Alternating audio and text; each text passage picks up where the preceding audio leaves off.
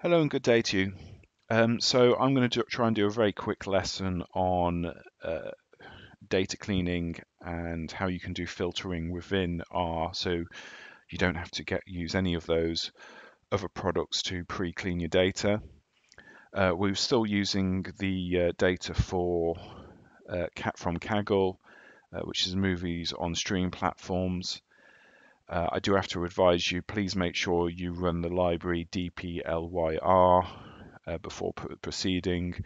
Uh, there is a function within the base distribution of uh, R, which is also called fil filter. And what it that will do is it's designed to produce, uh, it's, it's designed to do something with time series data, and I really doubt you will get what you want from it. So make sure you load dplyr before proceeding. Uh, the syntax for R is you can assign, if you don't assign it to anything, it will filter the base data. But if you assign to X with the uh, arrow, use the filter function. First value is the data you're looking to filter. Uh, next is uh, assigning the uh, value value that you're looking to uh, filter on. You can use you can you can proceed that with data uh, data and the uh, dollar mark if you want to be very specific, or you can just put in the, the you know a straight straight value. Uh, double equals is used for the Boolean operator for equality uh, because a single equals is using for assigning of variables. So don't let that catch you out. Make sure you put in a double equals value. Uh, it's the same across Python, everything, and C++. So once you get used to it, you won't look back.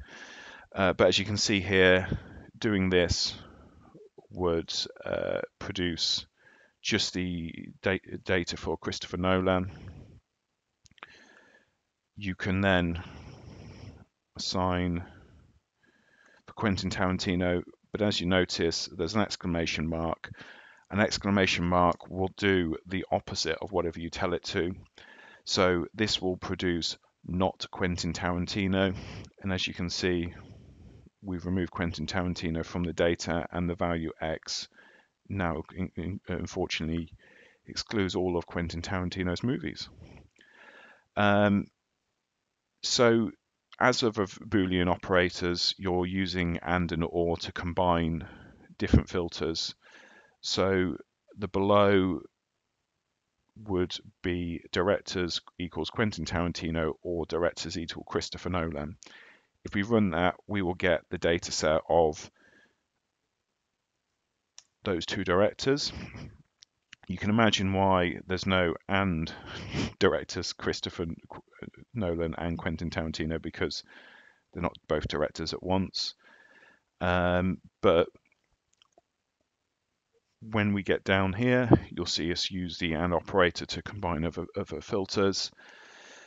So then you can look into, if I wanted to only look at a movie where its IMDb value is greater than 8, this filter would work. And as you can see, the greater sign is in there. Uh, that'll produce Y. And if we put in view, Y, caps lock on you'll find that it, it filters on the right data. Going down, you can do a less, a greater than or equals by putting an equal sign afterwards. Uh, you can do uh, less than using a less than sign, less than equals, not equals, which would produce every other value than IMDb other than 8. Uh, as you can imagine, there's 8.1s and stuff, so you can also use you can also wrap this with, if I spell it correctly, near, and that'll produce, uh, if it's around 8 rather than just equals 8, uh, you can do a, a, direct assignment, again, the uh, double equals, and then moving on, assuming that I wanted to look at great good movies greater than or equal to IMDb of 8 and black and white. I like black and white movies, so it needs to be made before 1980. Don't don't know if they, I don't don't think don't think they I do think they made color movies in. Uh,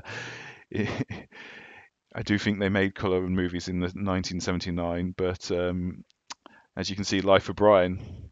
So uh, forget what I said about color. Uh, you know, I, I, like black and white movies. Uh, but then, if you want to change it round and look at uh, ones greater than, you don't just you can you can actually just add in exclamation mark to do a not value. So this would do the opposite, and you'd get uh, wait for it you get everything that's greater than 1980. Uh, you can do uh, you can do a function to do ORs, so this will produce IMDb of greater than or equals 8 and less than 4 because I really like really good movies, but I also like really bad movies. And again, you can double up on your and or operands. And if you know anything about C++, these um, usually in languages you can get ors or ands, uh, as in sometimes you can, you know, VBA uses if x equals 8 or and lets you actually type out or or and uh, this this uh, way that R uses these what they call bitwise operators is quite standard for C++. So it might look like it, they're they're a bit hard to remember at first, but once you get used to it, it uh, gets used elsewhere in other languages. So that seems really simple, but it does mean that you can do all your data cleaning within R It does mean that you can load a base variable of your data, strip out other values you don't want to look at for other values and, and get them assigned to a different variable. When you then run through and do your analysis, making graphs and the like, you can use these data clean values that you, you've made.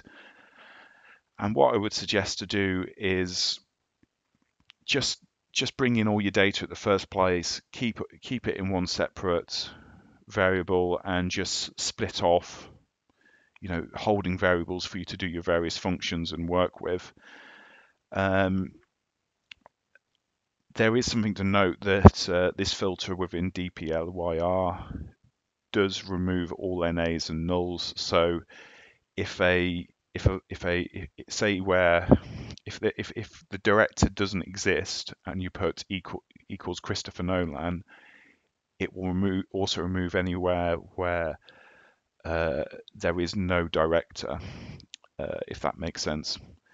So I hope that lets you do a bit more data cleaning within R. Hopefully you can now see the appeal that you don't have to go back to things like Excel or bother your uh, your data engineer to make sure you've got clean data. You can do your cleaning within R. Um, hopefully, in a few of a few videos time, I'll do select statements and the other type, so you can get even more data cleaning out of this. Uh, thank you for watching this video. Have a good day. Bye.